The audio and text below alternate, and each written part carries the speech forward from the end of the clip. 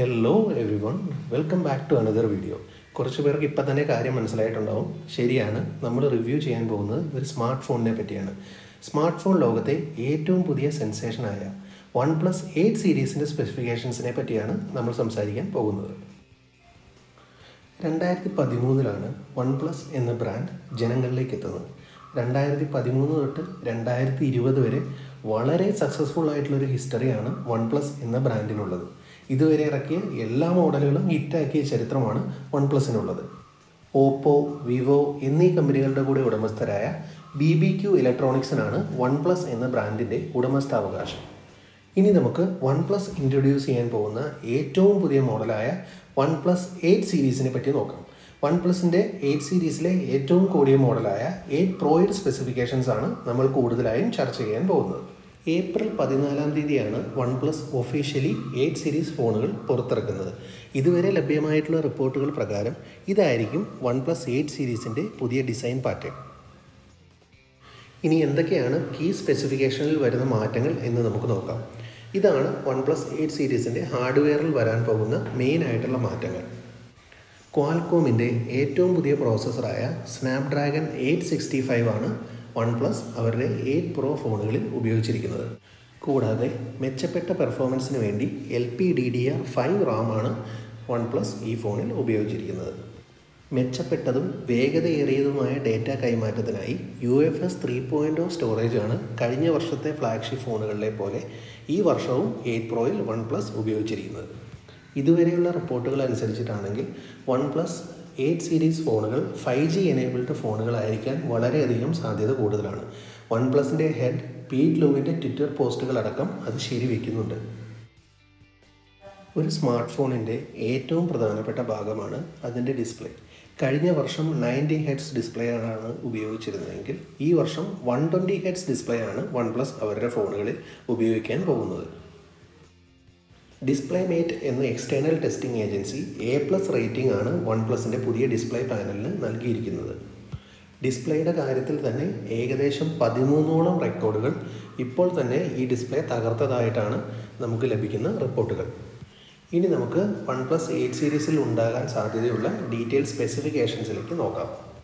One plus എയ്റ്റിലും eight പ്രോയിലും Android ടെന്നിനെ അടിസ്ഥാനമാക്കിയുള്ള ഓക്സിജൻ ഓയസ് ആണ് ഉണ്ടാവുക. വൺ പ്ലസ് എയ്റ്റിൽ നോക്കുകയാണെങ്കിൽ six point five inch super AMOLED full H D plus ninety hertz display ആണ് ഉണ്ടാവുക. അതേസമയത്ത് എയ്റ്റ് പ്രോയിൽ നോക്കുകയാണെങ്കിൽ കുറച്ചുകൂടി വലുപ്പമുള്ള six point seven eight inch super AMOLED quad H D plus one twenty hertz display ആണ് എയ്റ്റ് പ്രോയിൽ ഉണ്ടാവുക. രണ്ട് ഫോണുകളിലും സ്നാപ്ഡ്രാഗൺ എയ്റ്റ് സിക്സ്റ്റി ഫൈവ് തന്നെയാണ് ഉപയോഗിച്ചിരിക്കുന്നത്.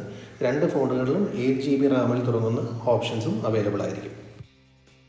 പ്രധാനമായും one plus eight pro launch ചെയ്ത് കഴിഞ്ഞാൽ കമ്പയർ ചെയ്യാൻ പോകുന്നത് same one twenty hertz display refresh rating ഉള്ള എസ് ട്വന്റി അൾട്രയുമായിട്ടായിരിക്കും അപ്പോൾ വൺ പ്ലസ് എയ്റ്റ് പ്രോയിൽ ഉണ്ടായിരിക്കണം എന്ന് എനിക്ക് ആഗ്രഹമുള്ള ഒരു ഫീച്ചറാണ് ഇപ്പോൾ നമ്മൾ എസ് ട്വന്റി അൾട്രയാണ് നമ്മൾ ഉപയോഗിക്കുന്നതെങ്കിൽ നമ്മൾ വൺ ട്വന്റി ഹെഡ്സ് ഡിസ്പ്ലേ ആണ് നമ്മൾ സെലക്ട് ചെയ്യുന്നതെങ്കിൽ ക്വാഡ് എച്ച് ഡി റെസൊല്യൂഷൻ നമുക്ക് അവൈലബിൾ ആയിരിക്കില്ല. One twenty hertz plus full H D റെസൊല്യൂഷനാണ് നമുക്ക് അവൈലബിൾ ആയിരിക്കുള്ളൂ. അപ്പോൾ ക്വാഡ് എച്ച് ഡി റെസൊല്യൂഷനിൽ വൺ ട്വന്റി ഹെഡ്സ് ഡിസ്പ്ലേ ഉപയോഗിക്കാൻ പറ്റുന്ന ഒരു ഫീച്ചർ വൺ പ്ലസിന് കൊണ്ടുവരാൻ സാധിക്കുകയാണെങ്കിൽ വളരെയധികം നല്ലൊരു എക്സ്പീരിയൻസ് ആയിരിക്കും നമുക്ക് അതിൽ നിന്നും കിട്ടുക. ഇനി നമുക്ക് ക്യാമറ സ്പെസിഫിക്കേഷൻസിലേക്ക് നോക്കാം. പ്രൈമറി ക്യാമറയായി രണ്ട് ഫോണുകളിലും ഫോർട്ടി എയ്റ്റ് മെഗാ പിക്സലിന്റെ അൾട്രാവൈഡ് സോണി സെൻസറാണ് ഉപയോഗിച്ചിരിക്കുന്നത്. സെക്കൻഡറി ക്യാമറയായിട്ട് സിക്സ്റ്റീൻ മെഗാ പിക്സൽ ടെലിഫോട്ടോ സെൻസാണ് എയ്റ്റിൽ വരുന്നത്. Forty eight mega pixel ultra wide വരുന്നത് നമ്മുടെ എയ്റ്റ് പ്രോയിലാണ്. റിയർ ക്യാമറ മൂന്നാമത്തെ റിയർ ക്യാമറ നോക്കുകയാണെങ്കിൽ ടു മെഗാ പിക്സൽ അൾട്രാവൈഡ് ആണ് പോസിബിളി നമ്മൾ എക്സ്പെക്ട് ചെയ്യുന്നത് എയ്റ്റിൽ എയ്റ്റ് പ്രോയിലായിരിക്കുമ്പോൾ എയ്റ്റ് മെഗാ പിക്സലിന്റെ ടെലിഫോട്ടോ ആയിരിക്കും ഒരു ട്രിപ്പിൾ ക്യാമറ സെറ്റപ്പാണ് നമ്മൾ വൺ പ്ലസ് എയ്റ്റിൽ എക്സ്പെക്ട് ചെയ്യുന്നത്. എന്നാൽ വൺ പ്ലസ് എയ്റ്റ് പ്രോയിൽ നാല് ക്യാമറകളുണ്ടാവും. ഫൈവ് മെഗാ പിക്സലിന്റെ ഒരു ഡെപ്ത് സെൻസർ കൂടി വൺ പ്ലസ് എയ്റ്റ് പ്രോയിൽ വരുന്നതാണ്. നാലായിരത്തി മുന്നൂറ് എം എ എച്ച് ബാറ്ററിയാണ് എയ്റ്റിൽ അതേപോലെ നാലായിരത്തി അഞ്ഞൂറ്റി പത്ത് എം എ എച്ച് ബാറ്ററിയാണ് എയ്റ്റ് പ്രോയിലും നമ്മൾ എക്സ്പെക്ട് ചെയ്യുന്നത്. കഴിഞ്ഞ വർഷത്തേതുപോലെ തന്നെ റാം ചാർജിംഗ് ആയിരിക്കും ഈ രണ്ട് ഫോണുകളിലും അവൈലബിൾ ആയിരിക്കുന്നത്. പിന്നെ വൺ പ്ലസ് ആദ്യമായി വയർലെസ് ചാർജിംഗ് ഇൻട്രൊഡ്യൂസ് ചെയ്യാൻ പോകുന്നതും വൺ പ്ലസിന്റെ എയ്റ്റ് പ്രോ ഫോണിലായിരിക്കും. ഇന്ത്യൻ വിപണിയിൽ ഏകദേശം മുപ്പത്തി ഏഴായിരത്തിന് മുകളിലായിരിക്കും വൺ പ്ലസ് എയ്റ്റിന്റെ സ്റ്റാർട്ടിംഗ് പ്രൈസ് അമ്പത്തി രണ്ടായിരത്തിന് മുകളിലായിരിക്കും വൺ പ്ലസ് എയ്റ്റ് പ്രോയുടെ സ്റ്റാർട്ടിംഗ് പ്രൈസ് എന്നുള്ളതാണ് ഇപ്പോൾ നമുക്ക് ലഭിക്കുന്ന ഇൻഫർമേഷൻ